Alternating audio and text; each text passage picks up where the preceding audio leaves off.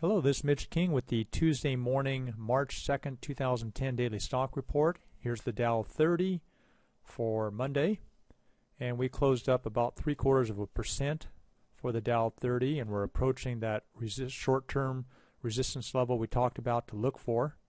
Looks like we're about to break through, and if we do break through this fairly soon, this paves the way for the market to continue to move up. It's more likely that we do that breakthrough here this this week and then have a little bit of a correction and then we'll see the next level if we continue to move up past that and go above that January 19th high that we've been talking about previous to for the next level of resistance. So the market's got a little work to do that.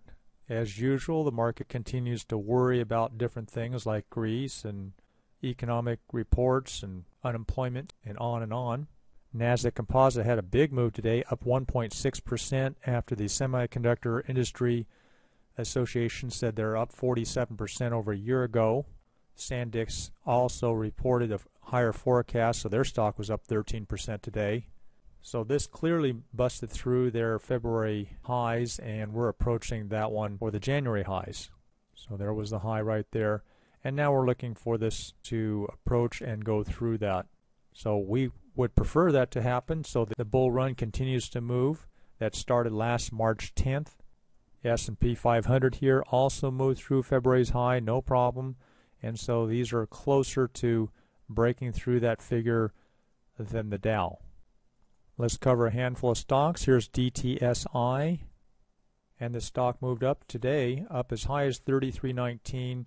We posted on the last report to consider selling today, probably the high today and we're likely to see this stock turn over like a typical bull short or let's just call it a short because it has some of the ingredients of a bull short. But we're looking for a short on this the next couple of days. Probably tomorrow's the right day. And don't get leveraged on that. Here's that AEA that was a concern that we were going to go through that high the previous high. It didn't act really weak. It didn't turn over strong.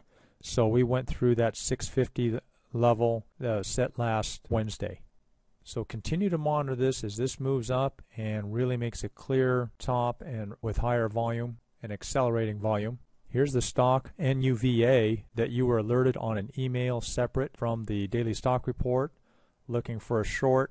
We think this could be a short in itself looking at this daily chart here as well as the intraday scalp that we gave you an alert today. Let's take a look at an intraday chart on this. We're looking at intraday chart for three minutes over two days of history with the E-Trade Power E-Trade Pro charting.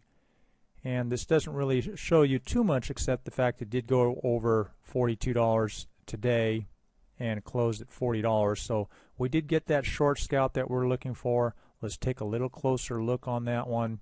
And you can see right here today's data 42.21 closed at just about $40, went a little bit under it.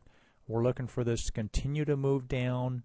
We'll probably get another good short scalp out of that tomorrow after it probably pops up a little bit at the opening, which is very typical. Just a little one that kind of the last suckers getting in there uh, long thinking that this is going to keep moving up. And, you know, sometimes we're the suckers too, but I'm trying to give you an idea how to handle this as a short that you hold over a period of days.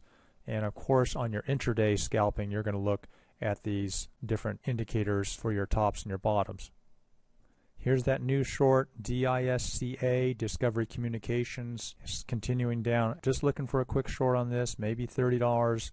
Not a lot of profit on this, it's just a quick short. Here's that SUR also went down today. Looking for another quick short on this one for just a few days. It's starting to head in the right direction for us.